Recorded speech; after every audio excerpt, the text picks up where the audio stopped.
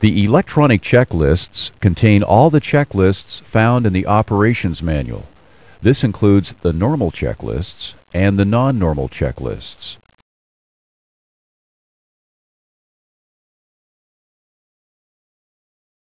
The checklist can be displayed on any of the three MFDs. Either cursor control device is used to operate the checklist. The normal checklists are presented sequentially. Use the Checklist Display switch on the DSP to display the first checklist in sequence. The checklist title appears at the top. The current line item box is surrounding the first incomplete step in the checklist. When the cursor is placed next to or on a checklist step, a cursor selection box appears around that step. All incomplete steps are shown in white text. Notice the last three steps are green and have a green check mark in front of them. These steps are complete. The electronic checklist is able to sense that the auto brake selector, parking brake, and fuel control switches are set to their proper positions. When a step can be sensed by the checklist system, it is called a closed loop step. When closed loop steps are sensed complete, they are automatically checked off. Steps that are not sensed are called open loop steps and appear with a gray box next to them. The flight crew must confirm that each step with a gray box is complete before manually checking it off. Let's say you have performed the first three steps on the checklist and you wish to check them off. When a checklist is initially displayed, the current line item box surrounds the first incomplete step in the checklist. Use the cursor select switch to check off this step. A green check mark and green text mark this step complete. Notice the next incomplete step is highlighted automatically. Check off the next two steps. Continue. Each step on the checklist is now checked off. When the checklist has been completed, the Checklist Complete indication appears at the bottom.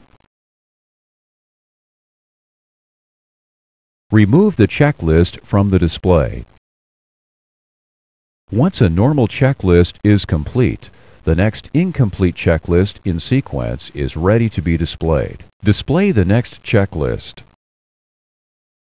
The next normal checklist in sequence is now displayed with the cursor highlighting the first step. Next we'll discuss non-normal checklists.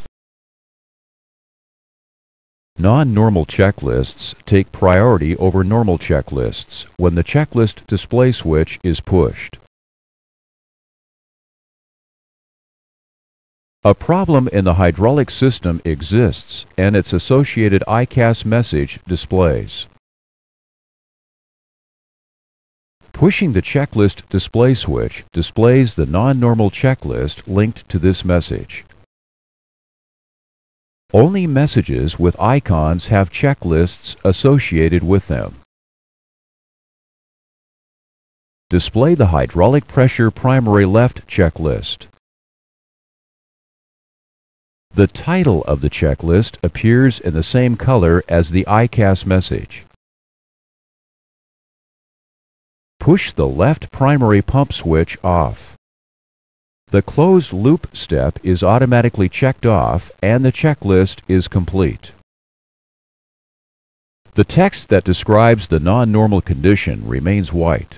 Since this text is not a selectable step and is not evaluated, it does not change color. When the checklist has been completed, the icon is removed from the EICAS message.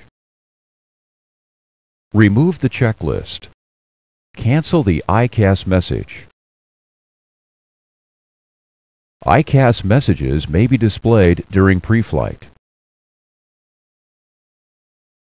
Icons for amber-colored messages are inhibited until after the first engine is started.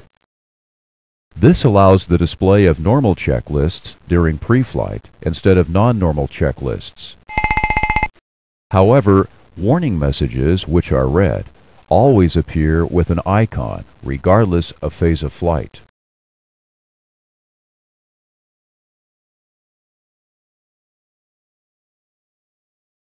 Some non-normal procedures require immediate action, where recall items are completed before a checklist is displayed.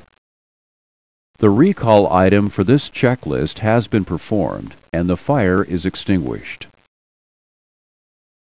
Some checklists are latched to their EICAS message. If the condition no longer exists and the message is removed, the checklist can still be displayed. Display the Fire APU checklist. The Fire APU checklist now displays because it was latched. The checklist title is white because the fire is extinguished and the EICAS message Fire APU is no longer displayed. Complete the checklist. The checklist is complete and there are no additional checklists to view.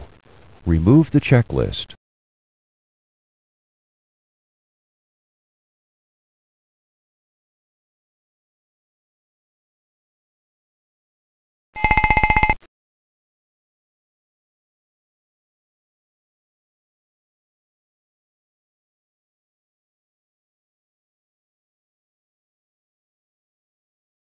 The recall items for this checklist have been performed.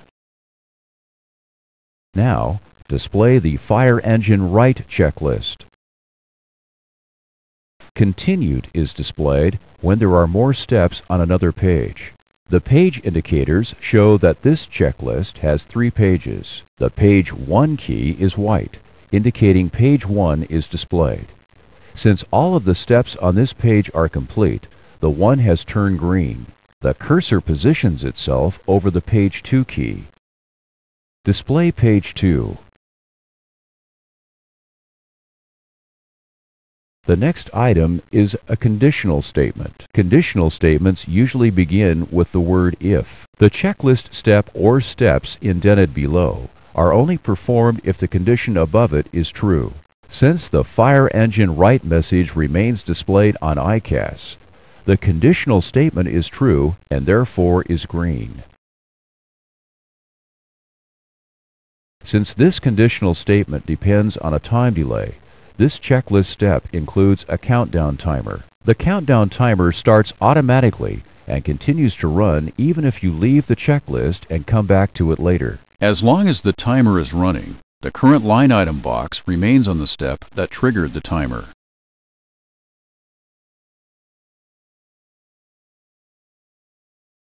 Since this is a closed-loop conditional statement, the checklist system can sense whether it is true or false. When the fire engine right message is removed, the statement becomes false and turns cyan. When the timer reaches zero, it turns amber. The cursor then positions itself over the next incomplete step in the checklist. This step has no timer associated with it. Complete the checklist.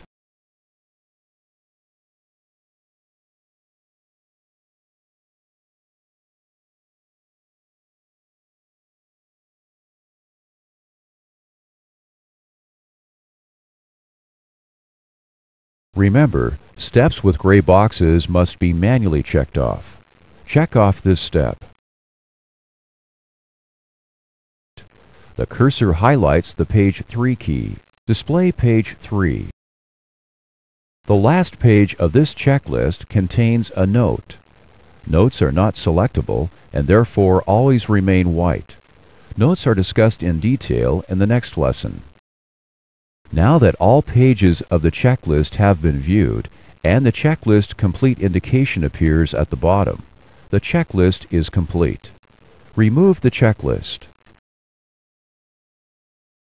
Now let's look at two of the keys on the bottom of the checklist.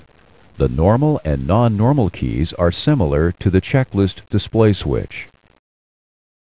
The normal key displays the next unfinished normal checklist in the sequence.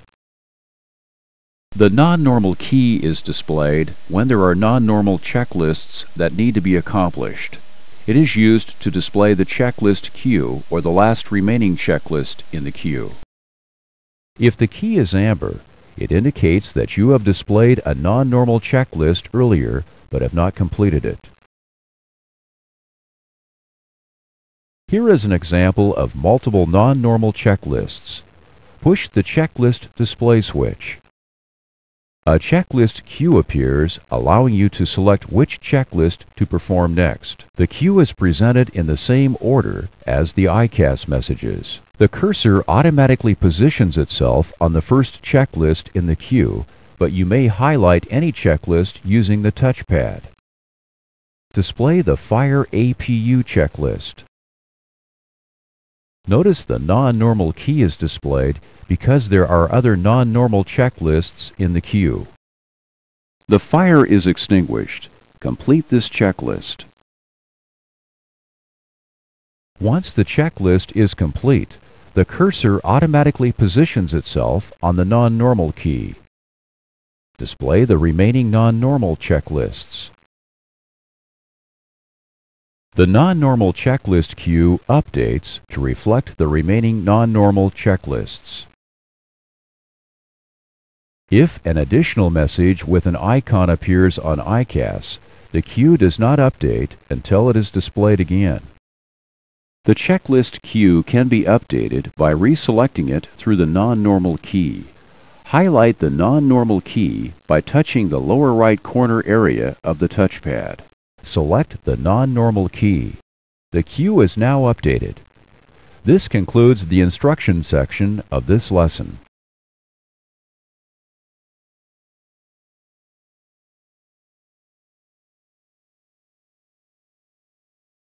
You have finished the pre-flight procedures.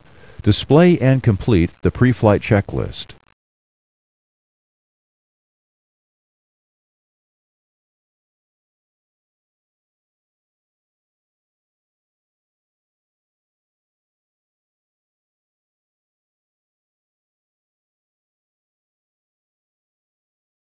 The pre-flight checklist is complete.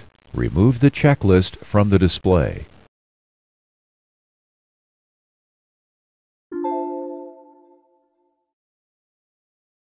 You are ready to start the engines. Display the before start checklist.